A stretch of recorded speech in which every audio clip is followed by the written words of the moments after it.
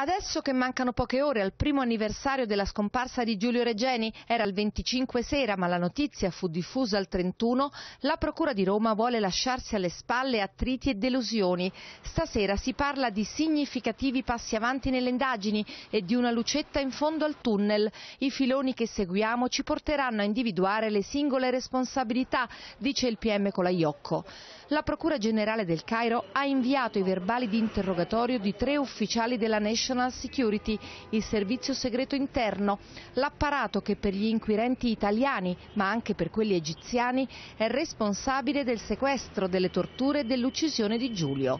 Il primo verbale riguarda il poliziotto che dopo la morte dei cinque rapinatori, la strage di Pasqua 2016 con due agenti accusati di omicidio premeditato, ha perquisito la casa della sorella del capobanda trovando in una stanza, così ha dichiarato, i documenti del ricercatore italiano.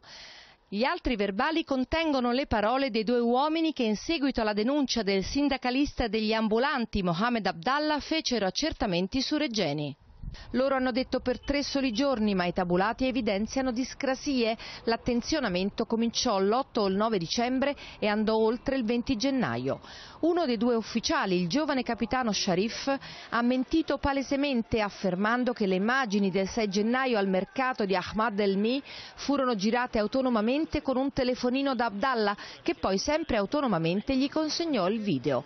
Ma l'ambulante ha detto di aver agito per conto della National Security con una micro telecamera installata nel bottone della camicia e in effetti, nota il Ross, uno strumento di captazione così sofisticato e costoso non era alla sua portata.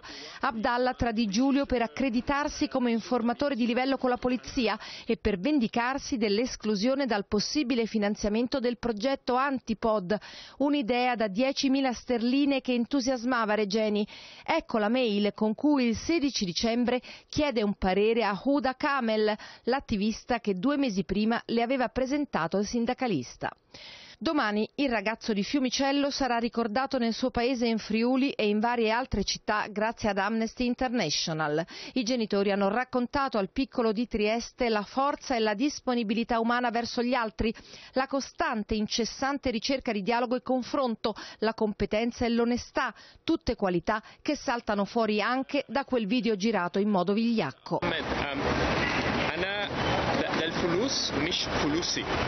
أنا مش ممكن أستخدم الفلوس بأي صورة عشان عشان أنا أكاديمي ومش ممكن أكتب في ال يعني ابلكيشن يعني في ال في ال في المعلومات لل للمؤسسة في بريطانيا.